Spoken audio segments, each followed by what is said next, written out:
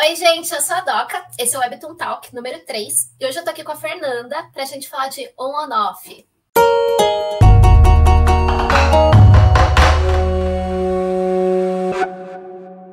Fê, a gente, durante a nossa amizade, nós compartilhamos alguns títulos de webtoons, de manhwas, e um deles foi On on Off, que foi o primeiro BL, o primeiro webtoon BL que a Fernanda leu. Fala pra gente, Fernanda, sobre o que é On on Off. Ok. On off é, é sobre é, BL. Para quem não sabe, BL é um boys love, que é uma história de amor entre homens, que pode ou não ser mais de 18, nesse caso é. Muito é. e conta a história do In Young, que é um desenvolvedor de jogos, que junto com a equipe dele na startup deles, vai tentar vender esse jogo novo para uma empresa maior. E quando ele vai fazer a apresentação desse jogo para né, diretoria dessa empresa, ele encontra o diretor Khan, que é um, um homem zarrão oh. maravilhoso. maravilhoso. E aí ele fica nervoso e dá tudo errado. E aí ele não sabe o que fazer, porque né, ele precisa né, dar um up aí na empresa dele, né, na startup dele, e vai atrás do diretor para saber o que, que ele pode fazer para eles darem uma chance né, para o jogo novo deles. E daí o diretor, né, com, de uma maneira muito não convencional, sugere uma forma deles se acertarem para ele né, levar aí adiante a proposta. E daí começa né, o romance hum, Posso dizer romance, Doc? Começa o caminho para o romance. né? O caminho Exato. para o romance. Um caminho bem, bem tortuoso, tortuoso mas, mas ao mesmo tempo divertido, né? Os personagens são muito divertidos. E né, no finalzinho é, é um romance bonitinho, na minha opinião. É, eu concordo. Então, uh, como eu comentei, Uh, eu e a Fernanda, a gente compartilha alguns títulos, né? Esse foi o primeiro BL, que é de Webtoon, que a Fernanda leu. E eu, na verdade, ela leu a versão física, porque esse é um dos poucos Webtoons que foram adaptados para manhwa no Brasil. Então, aqui pela New Pop, eu tô com o volume 3 da obra. Essa é uma, essa, inclusive, é um volume autografado pela A1, que é a autora. Ela esteve no Anime Friends em 2022, se eu não me engano, isso, 2022 e para o lançamento desse terceiro volume. Atualmente, aqui no Brasil, a gente já está com quatro volumes, e a série lá fora está finalizada com seis volumes, o mangá, né? O Webtoon já está finalizado faz algum tempinho. Vamos lá, Fê. Vamos hum. para o que importa. Considerando que você já terminou de ler o Webtoon, qual é a sua opinião sobre a obra? Assim, uma opinião geral. Opinião geral. Amém. Mas é, tem algumas coisas, cinco estrelas, 10 de 10. Mas algumas coisas que eu gostei que eles são. Que esse webtoon eu achei muito diferente da, dos webtoons que eu já li, né? Que eu já tinha lido e que eu leio hoje. Porque tanto a arte, não sei se você sente que a arte, a, a cor, o traço da, do desenho. Ah, ele é diferentão mesmo. É diferente. Dá um ar meio retrô, assim. Sei, é, ele é colorido. Eu não sei como. Bom, para quem não sabe, os manhwas eles são particularmente todos coloridos, né? Então é uma obra inteirinha colorida. E a maneira como ele é colorido parece muito diferente mesmo. Eu não sei uhum. como foi feito, mas parece que você está lendo um quadrinho mais antigo, um quadrinho tipo dos isso. anos 80, 90. É, eu senti isso também. E, e isso foi uma coisa que chama atenção, né? E, e, te traz assim mais apreço assim pela obra. Eu gostei uhum. muito. E a história é muito boa, né? Assim, te envolve, você quer saber, né? O que ele tá pensando, o lado dos, dos dois protagonistas, né? Mas, e o, os personagens coadjuvantes, vamos dizer assim, o, uhum, as amigas do. É, secundários. Secundários do Yin Yang, eles são bem interessante também, você vê o lado delas, como elas pensam, né, sobre uh, o que ele está passando, meio que quase como se a gente tivesse, né, sussurrando para eles lá. Nós somos as o que a gente está pensando. Exato, então a gente é amiga dele. E eu gostei bastante. Achei uma obra muito bacana, muito bonita, muito envolvente. E, assim, vale a pena. Recomendo. Uma coisa que eu percebo nos BLs, eu primeiro concordo com tudo que você falou, né? Eu tenho uma opinião muito semelhante. Um, uma coisa que eu percebo nos BLs e que também tem hum. nessa história é que, em geral, a gente tem dois personagens. Um que claramente sabe que é gay, que nesse caso é o Ion. Ele é gay, ele gosta de homens uhum. apenas. Sempre soube desde criança que ele gostava apenas de homens. E a gente tem o diretor Khan, que na verdade ele acha que é heterossexual, até ele ter uma relação com o Ion. E eu, eu não gosto de certas coisas, como ele fala assim: ah, o Young é tão feminino, então talvez por isso eu vou ter uma relação com ele. Eu não acho que funciona dessa maneira, uhum. mas eu vejo isso em muitos BLs. E aí, isso não é grande spoiler, é um, é um romance entre os dois, né? É, depois o diretor Kang fala assim: não, beleza, eu sou bissexual, porque eu gosto de mulheres e homens, né? Mas o caso único homem que ele gosta é o Ion. então, é, é o único por enquanto, né? E ele se sentiu é. atraído, é o Ion. E tem um grande problema, que é o começo dessa relação. Como a Fernanda explicou antes, uh, o Ion ele vai atrás do diretor Khan, o diretor tá bebendo depois de levar um fora de uma namorada. E aí uh, o Ion tá lá, pelo amor de Deus, dá uma chance, veja a nossa apresentação desse jogo, por favor. E o diretor Kang faz tipo, uma, uma, piada assim, fala assim: ah, você vai fazer o quê? Você está disposto a dormir comigo? Dele, sim. Sim. Sim. É isso que você quer. E aí é quando supostamente o diretor Khan fala assim: ah, beleza, tu tô aqui mesmo, né? Bora, vamos, vamos fazer o que pior pode acontecer. Mas uh, essa primeira vez deles, dessa, dessa, dessa relação sexual deles, é horrorosa, é péssima, é terrível, é abominável. Uhum.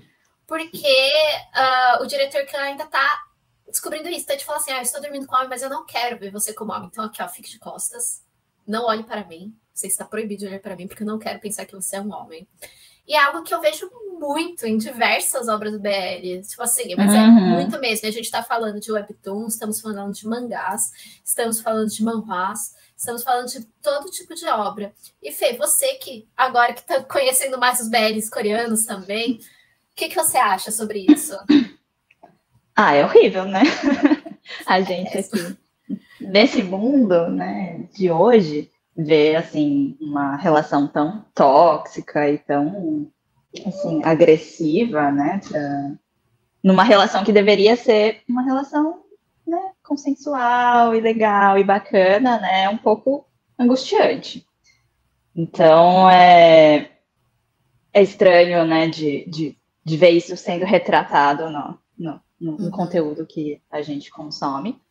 Mas, se eu puder falar, né, no, no futuro, sim, né, eu acho que uma das coisas que funcionam é que traz, né, como uma problemática, como algo ruim, né, não é visto, ah, não, isso é, isso é legal, vamos aceitar isso, porque isso é normal. Não, vê-se como uma coisa, né, que se deve combater, que não é legal, e, né, o, o personagem vai se arrependendo, vai se desenvolvendo, vai né, tendo o arco de redenção dele, e aí uhum. as coisas começam a ficar um pouquinho mais assim, palatáveis, né? Aí vira um amorzinho. Eu acho que essa são dos fortes do on-off é que justamente há esse crescimento de personagem. Apesar desse primeiro encontro. Ah, é verdade, porque tem vários outros que não acontecem isso. É, então, é, esse, esse é o grande diferencial. Porque o on-off tem esse primeiro encontro que é, é ruim. Ao consentimento do Young, ele fala assim: não, beleza, tô aqui, ó, bora eles vão pro hotel juntos e tudo mais. Não é legal como rola. Tanto que quando eu emprestei o volume pra Fernanda, falou assim: ó, leia com um paninho na mão, assim, sabe, para passar um pano. Isso, melhora depois. Porque quando a gente tá falando de obras BLs, tem muitas que não melhora. Que continuam é sendo assim, péssimo todas as vezes. E eu acho que é ainda pior porque no final eles constroem uma relação juntas, mas eles constroem essa relação mesmo ainda com tipo essa forçação. Uh, falta de consentimento mesmo, e on não é o caso. Então, apesar de nessa primeira vez ter isso, dali em diante o relacionamento dos dois se constrói de uma maneira muito bacana, consentida, com o Kang percebendo a merda que ele fez no início, uhum. então, ó, não vai acontecer novamente, eu entendi o que eu fiz e tudo mais. E aí, se desenvolvendo. Então, esse é, é um dos pontos fortes de On Off, em comparação, pelo menos, a outras obras do gênero, né? Uhum. É isso aí. E sobre as personagens, Fê? Uh, hum. Vamos falar então, a gente tem aqui dois protagonistas masculinos, que é o Yon e o diretor Kang. O que, que você acha deles? Bom, eu acho que o Yin Yang é o que ele representa as coisas que a gente sentiria ou talvez fizesse, né? Se a gente encontrasse esse diretor na nossa frente, né? Então, tanto ele imaginando, ele tendo a, a curiosidade, né, de, de, ir atrás, de, ah, enfim, eu acho que ele é muito sensível, né, no, no sentido de das emoções dele, do que está acontecendo na vida dele, da, das amizades, né, sei se de compromisso. É, então, eu acho que ele é a, a parte, vamos dizer assim, mais emoção falando. E gente como a gente, exato. Então, acho que nesse sentido é ele. E o diretor Khan é, bom, além dele ser um deus grego, ele acho que personifica a ambivalência e, como você disse, né, não, não uhum. saber o que quer, não saber o que gosta, né, não se entender muito bem, não entender os sentimentos, que a, a real a gente também sente, né, mas que é, é mais interessante ver aí um, um, personagem que é forte, né, um personagem uhum. forte, um personagem bem sucedido, rico, bonito, mas também tem os seus conflitos, né, também né? Tem ali é, algumas coisas que ele não, não é bom e que ele não entende, mas que ele, né, depois de um tempo, ele percebe que precisa trabalhar e que, né, vai atrás ali do que ele quer, né? Então, acho que os dois personagens são muito interessantes, assim, de... E ela explora muito bem isso na história. Então não fica aquela coisa meio superficial aqui. Ah, ele é assim e, e é isso. Não. É isso. Vai trazendo várias nuances ao longo aí da, da história. Isso que eu gosto. E assim, apesar do manhwa ainda estar tá em publicação aqui no Brasil, a obra já foi concluída lá fora como webtoon, né? Você já leu, eu já li. O que, que você achou, assim? São 91 capítulos, três temporadas. E o que, que você achou como essa história foi construída nessas três temporadas?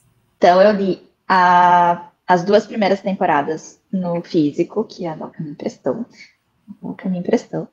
E achei maravilhosas. Assim, a primeira temporada passou voando super intensa, fogo, assim, né? Uhum. Queimou, assim, e, e, você fica assim, meu Deus, eu preciso ler a segunda temporada.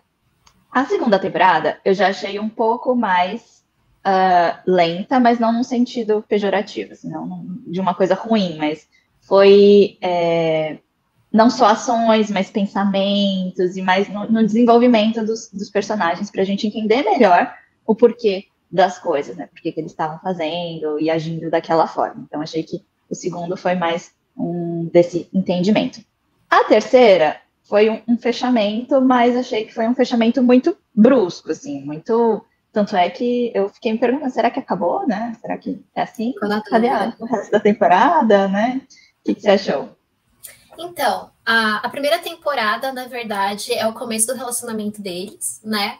Então, é todo esse, esse primeiro conflito, eles entendendo que, tipo, ah, a primeira vez não foi bacana, mas eu ainda quero estar com ele. A segunda, a gente tem o grande, a grande problemática, né, sobre construir um relacionamento ou não. E aí, se eu não me engano, a primeira e segunda temporada tem, tipo, 35 capítulos cada, e a terceira tem 20, é muito mais curta. E ela é, é justamente como se fosse, tipo, ah, só colocando, assim, um lacinho final de presente. E ela realmente é repentina. Depois, eu descobri, eu até falei para você, que na verdade a A1, a autora, não queria terminar desse, dessa maneira. Mas a editora, a editora coreana dela, falou, pediu para ela finalizar a série. Então ela finalizou a série dessa maneira e ficou esse ar mesmo incompleto. Que daí foi o que aconteceu depois, né?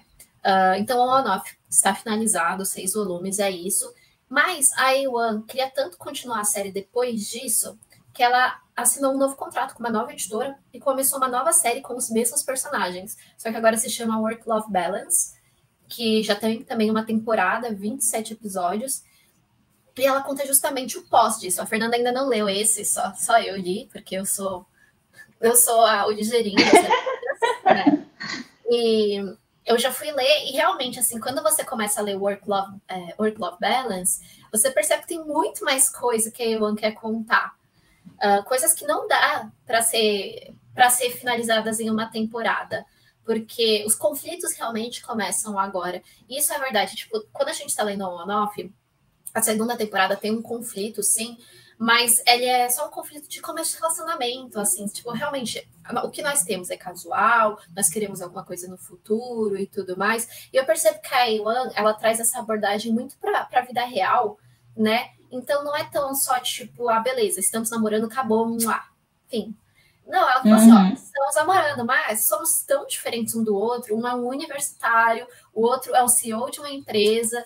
Então, relacionamentos não terminam no quer namorar comigo, sabe? Uhum. Vão além disso. Então, dá para ver claramente que a Iwan tem muito uma história para contar. Agora, o que fica realmente a dúvida é: Work-Life Balance vai virar manual? Vai vir para o Brasil? Será adaptado? Não sabemos. Fica aí. Ah, sabe o que eu queria te perguntar? Hum. Se no Work-Life Balance ela fala um pouco mais sobre esse relacionamento no trabalho. Fala. Ela explora um pouco Fala. mais, porque é um mega caos, né? Além Fala. dessa relação, eu acho, né? Eu acho que, assim, por, por exemplo, eu, Andresa, nunca me relacionaria com alguém no trabalho.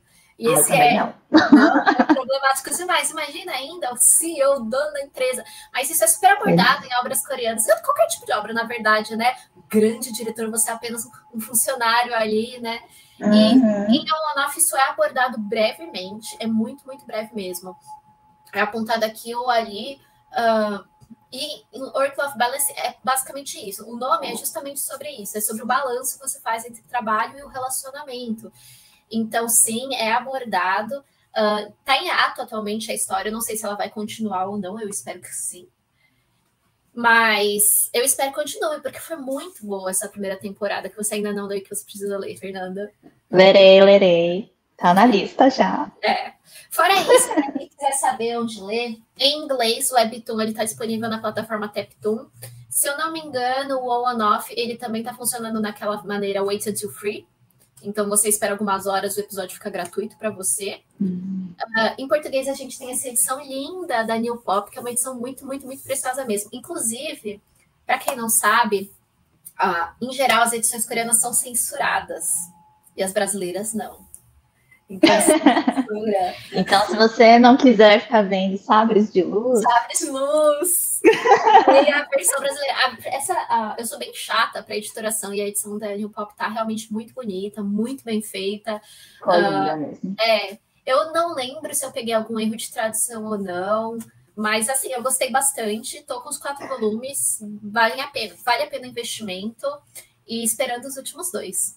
Não é mesmo? Aliás, adorei a tradução, a, a versão brasileira, que tem umas, umas gírias, umas expressões muito é. típicas brasileiras. Nossa, adoro, meu Deus. Então, é, gente, então, leiam a brasileira. É isso, eu queria agradecer. Muito obrigada, Fernanda.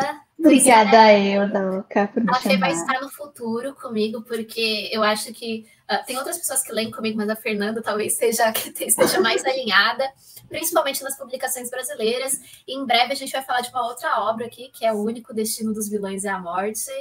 Ah!